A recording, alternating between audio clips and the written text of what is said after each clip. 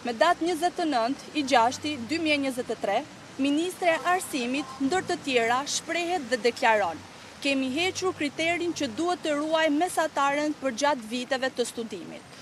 Që do të thotë, studentët të cilët kanë vendosur të ndjekin degët prioritare, duhet të ruajnë vetëm një kriter që ishte shtatë pikë pesë për shembull për degët e mësuesisë. Ndërkohë që tani jemi përballë asaj që studenti për të ruajtur këtë pagë prej katërqind mijë lekësh gjatë gjithë viteve të studimit, në vit të dytë ai duhet të ketë mesatare nëntë pikë pesë dhe jo shtatë pikë pesë ose fare pa kriter mesatare siç u deklarua në fillim. Studentët nuk dinë se çfarë përmban kontrata, veçse dinë që duhet tre vite të punosh në Shqipëri.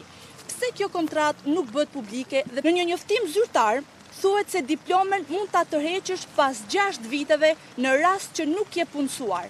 Mirë që tre vite studentët që kanë firmosur kontratën do të punësohen në shtet dhe në Shqipëri. Po tre vitet e tjera, çfarë do të bëhet me studentët? Shumë e shëmtuar tentativa për të na futur ne studentëve në xhep të ardhmen modeste të domosdoshme që ne kemi, duke futur në xhepin e tyre diplomën tonë, të ardhmen tonë. Çka do të thotë? Fondi është i limituar. Pra, në momentin që studenti do të jetë pjesë e degëve prioritare, të gjithë studentët që janë regjistruar, vijnë përballë asaj që përveçse mesatares, do të bëhet një renditje nga mesatarja më e lartë tek mesatarja më e ulët, që do thotë akoma nuk dihet se sa studentë do të përfitojnë nga kjo pagë, ndërkohë që një pjesë e mirë e studentëve kanë zgjedhur degët prioritare për shkak të pagës katërqind mijë lekë të vjetra. Ne jemi se pse nuk po mbahen premtimet që janë thënë që në fillim dhe pse nuk po na plotësohen ata kushte.